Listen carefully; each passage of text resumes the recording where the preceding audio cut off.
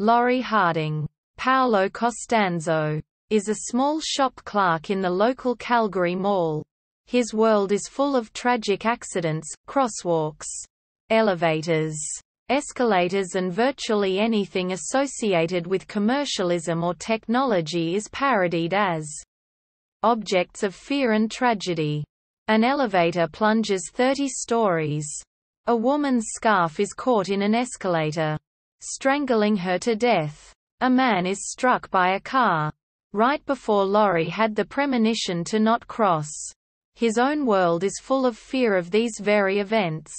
His predictions of them. And his dependence on his less than sympathetic sister. Michelle. Camille Sullivan. Michelle heads product development at the company Global Safety Inc., whose mission is to provide products to combat the fear storm which assails the city. With their early warning 2 safe system trademark. The PDA-like device warns you of danger ahead of time and the safe bracelet trademark senses your fear and allows you to beat for help. Along with Laurie's prophetic powers and the endless onslaught of accidents. The movie is full of absurd events. A mall announcer who continually requests a speaker of X foreign language, without any apparent reason. The same mall's population which slowly dwindles. Being virtually empty by the film's end.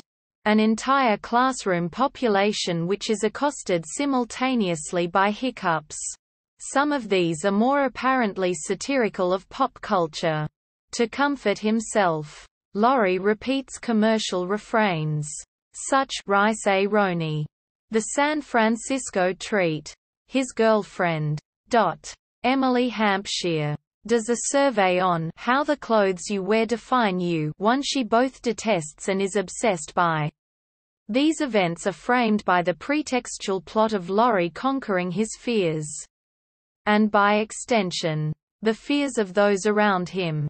However, by the film's end, it is doubtful that anything has been changed or achieved.